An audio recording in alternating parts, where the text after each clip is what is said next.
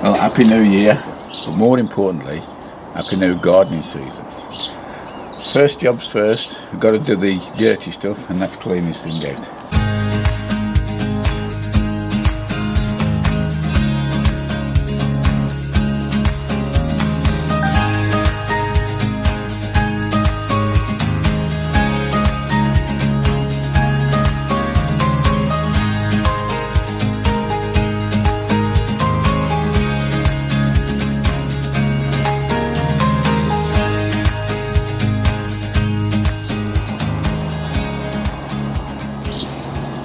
As you can see, it's not a pretty sight to greet you first thing.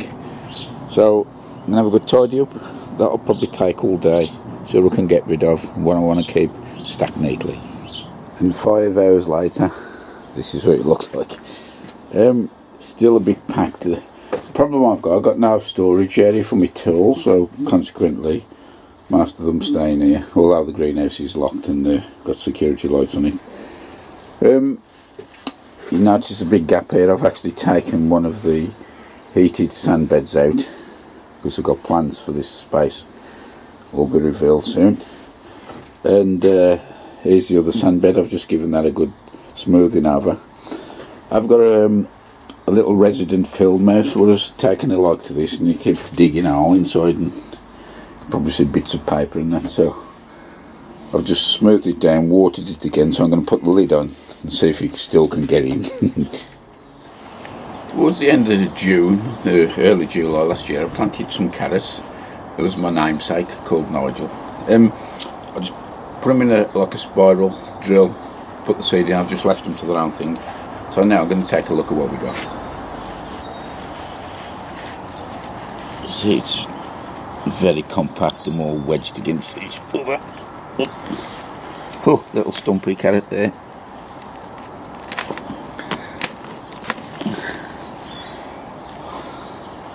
I'm not sure whether this is the way I've planted them or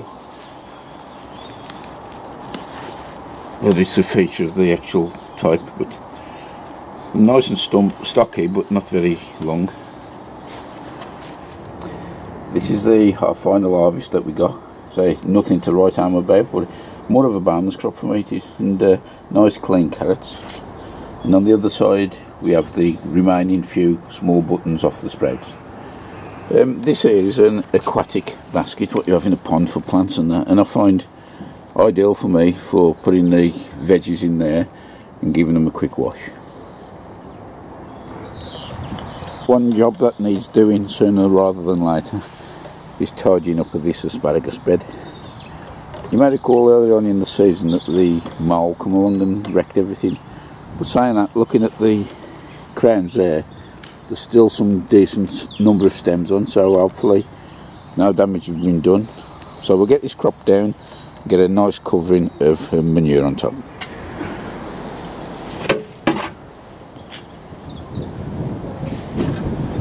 Santa was a bit late arriving at the lot this year but it was well worth the wait this was smells lovely and keeps you warm in this cool weather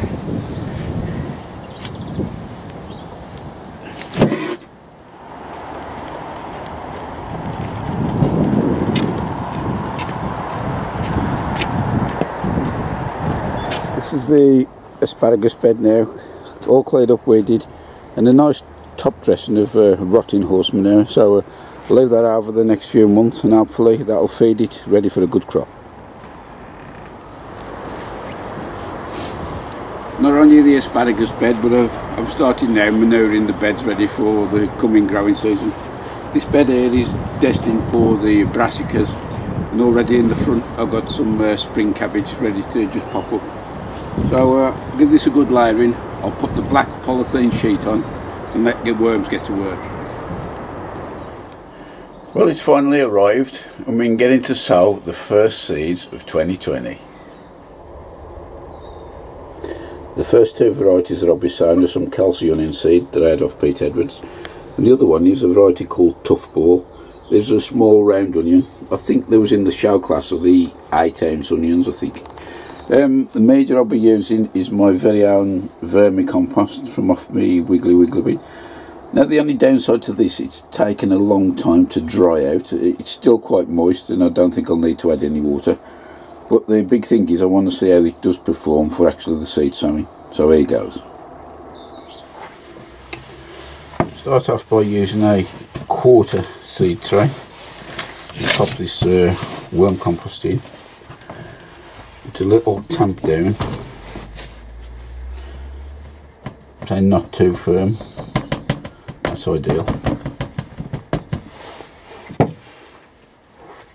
I know quite a few of you purchase seed from DT Brown and one of their features is they sometimes put in these plastic plant labels that you can use.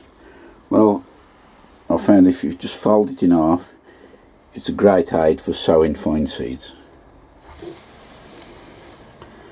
And just lightly broadcast the seeds liberally over the surface there's far more seeds here than I'll require. I'll just pick out the best and I'll donate the rest to anybody that wants them and all that's left then is to give a light dusting of vermiculite across the top.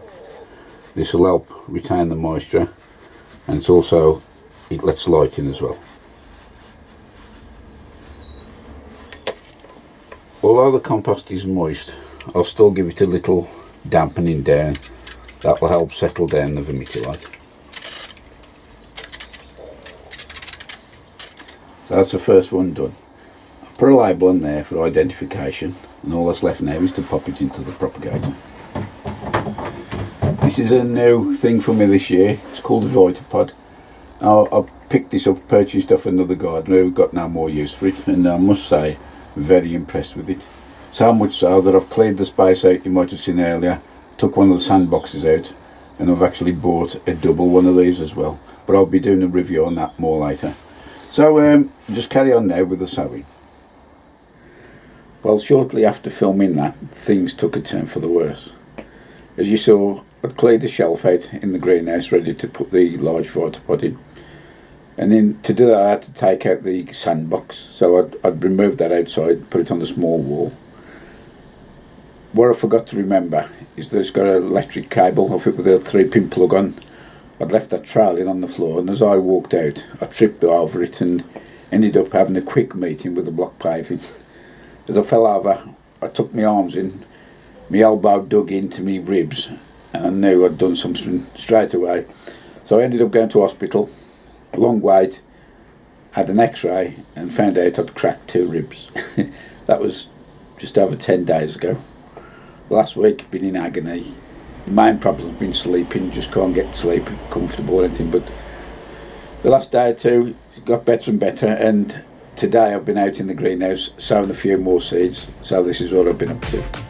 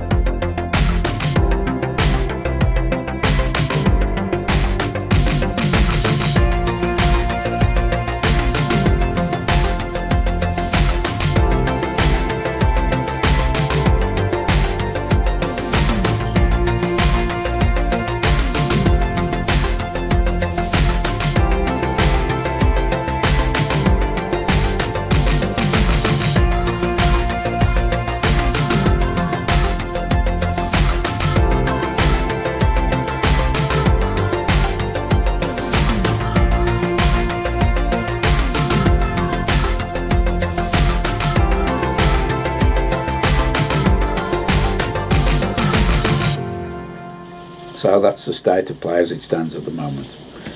That last 10 days or so, it hasn't really knocked me back all that much. But saying that, I could have been out on the allotment. Although the weather hasn't been all that good with rain and high winds, and it's chucking it down as we speak now. One final thing before we go, which brings you to your attention is the the weekend of the 25th to the 27th of January is the RSPB Big Garden Birdwatch.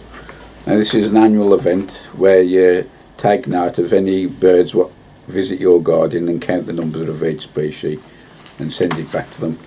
You can actually phone free phone number to apply for a little pack or if you go online to their website you can download the sheet which is what that is there if you can see it. I'll put a link to both of them underneath. So that's the Big Garden Birdwatch sponsored by the RSPB. That's about it for this one. Um, I hope to be fully back in action the next week or two. And uh, so until then, I'll see you later. Bye for now.